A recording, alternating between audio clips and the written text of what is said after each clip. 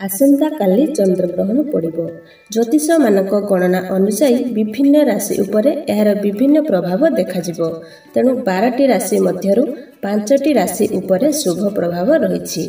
ଏହି ପାଞ୍ଚଟି ରାଶି ବ୍ୟକ୍ତିଙ୍କ ଜୀବନରେ ପ୍ରତ୍ୟେକ କ୍ଷେତ୍ରରେ ସଫଳତା ଲାଭ କରିବେ। ବ୍ୟବସାୟ ଓ ଚାକିରି କ୍ଷେତ୍ରରେ ଉନ୍ନତି ହେବା ସହ ଅଚାନକ ପ୍ରବଳ ଧନ ପ୍ରାପ୍ତିର ଯୋଗ ରହିଛି। ଶିକ୍ଷା ଓ ସ୍ୱାସ୍ଥ୍ୟରେ ଉନ୍ନତି ଘଟିବା ସହିତ ଚାକିରି ମିଳିବ। ଦୂର ସ୍ଥାନକୁ ଯାତ୍ରା କରିପାରନ୍ତି। ସନ୍ତାନମାନଙ୍କର ଶିକ୍ଷାରେ ଉନ୍ନତି ପରିଲକ୍ଷିତ ହେବ। ବୈବାହିକ ଜୀବନରେ ଏହାର ଶୁଭ ପ୍ରଭାବ ରହିଛି। ସମାଜରେ କୌଣସି ପଦ ମର୍ଯ୍ୟାଦା କିମ୍ବା ବଡ଼ ସମ୍ମାନର ଅଧିକାରୀ ହେବେ। ସେହି ରାଶିଗୁଡ଼ିକ ହେଲା ମିଥୁନ ରାଶି କର୍କଟ ରାଶି ତୁଳା ରାଶି କୁମ୍ଭ ରାଶି ଓ ମୀନ ରାଶି। ଏହି ରାଶି ପାଇଁ ଏହି ଚନ୍ଦ୍ରଗ୍ରହଣ ଦିନ ବହୁତ ଶୁଭଦାୟକ ଅଟେ। କିନ୍ତୁ ବାକି ଯେଉଁ ସାତଟି ରାଶି ଏମାନଙ୍କ ପାଇଁ ଗ୍ରହଣ ଦ୍ୱାରା ଅତ୍ୟନ୍ତ ଅଶୁଭ ଫଳ ଆଣିବ। ତେବେ ଆସନ୍ତୁ ଜାଣିବା କେଉଁ ରାଶି ଉପରେ ଏହାର ଅଶୁଭ ପ୍ରଭାବ ରହିବ ଓ ଏହାକୁ ଦୂର କରିବା ପାଇଁ କ'ଣ ସବୁ ପ୍ରତିକାର ବ୍ୟବସ୍ଥା ରହିଛି। ତେଣୁ ଭିଡ଼ିଓଟିକୁ ଦେଖିବା ପୂର୍ବରୁ ଭିଡ଼ିଓ ଗୋଟେ ଲାଇକ୍ କରନ୍ତୁ। ଆଉ ଯଦି ଆମ ଚ୍ୟାନେଲକୁ ପ୍ରଥମ ଥର ପାଇଁ ଦେଖୁଛନ୍ତି ତାହେଲେ ତଳେ ଥିବା ରେଡ୍ କଲର୍ ସବସ୍କ୍ରାଇବ୍ ବଟନ୍ ଉପରେ କ୍ଲିକ୍ କରି ଆଉ ତା ସାଇଡ଼୍ରେ ଆସୁଥିବା ବେଲ୍ ବଟନ୍ କ୍ଲିକ୍ କରି ଆମ ଚ୍ୟାନେଲକୁ ସବସ୍କ୍ରାଇବ୍ କରିନିଅନ୍ତୁ। ତେବେ ଚାଲନ୍ତୁ ଦେଖିନେବା କେଉଁ ରାଶି ପାଇଁ ଖରାପ ପ୍ରଭାବ ଆଉ ତାର ପ୍ରତିକାର କ'ଣ ସବୁ ରହିଛି।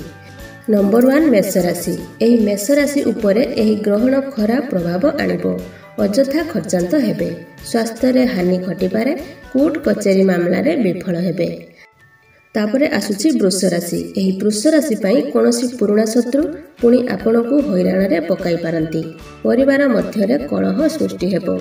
ସିଂହ ରାଶି। ସିଂହ ରାଶି ପାଇଁ ସୁନା କିମ୍ବା ଯାନବାହନ କିଣିବା ପାଇଁ ଏହି ସମୟ ଆଦୌ ସଠିକ୍ ନୁହେଁ। ଆର୍ଥିକ ସଙ୍କଟ ଦେଖାଦେବ। ପରିବାର ମଧ୍ୟରେ କାହାର ସ୍ୱାସ୍ଥ୍ୟକୁ ନେଇ ଅଧିକ ଚିନ୍ତିତ ରହିବେ। ତାପରେ ହେଲା କନ୍ୟା ରାଶି। କନ୍ୟା ରାଶିର ବ୍ୟକ୍ତିଙ୍କ ଅଧିକ ସତର୍କ ରହିବାକୁ ହେବ। ଏହି ଗ୍ରହଣ ତାଙ୍କ ଜୀବନରେ ବିଫଳତା ଭରିଦେବ। କୌଣସି ପରିସ୍ଥିତିରେ ସମାଧାନ କରିବାକୁ ଯାଇ ସମ୍ମାନ ହରାଇବେ। ପରିବାରର ଘୋର ଆର୍ଥିକ ଅନଟନ ଦେଖାଯିବ। ବିଛା ଧନୁ ଓ ମକର ରାଶିର ବ୍ୟକ୍ତି ମିଶ୍ରିତ ଫଳ ପାଇବେ। ଅଫିସ କିମ୍ବା ବ୍ୟବସାୟରେ କ୍ଷତି ସହିଲେ ମଧ୍ୟ କୌଣସି ଏକ ପ୍ରକାର ପରିସ୍ଥିତିକୁ ନିୟନ୍ତ୍ରଣ କରିନେବେ। ସନ୍ତାନମାନଙ୍କ ସ୍ୱାସ୍ଥ୍ୟ ସମସ୍ୟା ଦେଖାଦେଇପାରେ ଅଶୁଭ ଫଳ ପ୍ରାପ୍ତି ପାଇଁ ପ୍ରତିକାର। ଅଶୁଭ ଫଳ ପ୍ରାପ୍ତି ଯୋଗ ରହିଥିବା ରାଶିର ବ୍ୟକ୍ତିଙ୍କ ପାଇଁ ଜ୍ୟୋତିଷମାନେ ଅନେକ କିଛି ପ୍ରତିକାର ବ୍ୟବସ୍ଥା ସମ୍ପର୍କରେ ଉପାୟ କହିଛନ୍ତି। ତ ଗ୍ରହଣ ଲାଗିଥିବା ସମୟରେ ସେହି ସବୁ ନିୟମକୁ ପାଳନ କଲେ ଖରାପ ପ୍ରଭାବକୁ କିଛି ମାତ୍ରାରେ ଦୂର କରିହେବ। ଗ୍ରହଣ ଲାଗିଥିବା ସମୟରେ ନଅ ଥର ହନୁମାନ ଚାଳିଶା ପାଠ କରନ୍ତୁ। ଗ୍ରହଣ ସରିବା ପରେ ଗାଧୋଇ ହନୁମାନ ମନ୍ଦିର ଯାଇ ଦର୍ଶନ କରନ୍ତୁ। ତାପରେ ଓଂ ନମ ଭଗବତେ ବାସୁଦେବା ଏହି ମନ୍ତ୍ରକୁ ଶହେ ଆଠ ଥର ଜପ କରନ୍ତୁ। ଗ୍ରହଣ ସମୟରେ କୌଣସି ଅଫିସ ଫାଇଲ କିମ୍ବା ଟଙ୍କା ଥିବା ଆଲମାରିକୁ ସ୍ପର୍ଶ କରନ୍ତୁ ନାହିଁ। ବିଶେଷ କରି ଗର୍ଭବତୀମାନେ ଧ୍ୟାନ ରଖନ୍ତୁ। ଗ୍ରହଣ ସମୟରେ ସେମାନେ ଖାଇବା କିମ୍ବା ରୋଷେଇ କାମରେ ଦୂରରେ ରୁହନ୍ତୁ।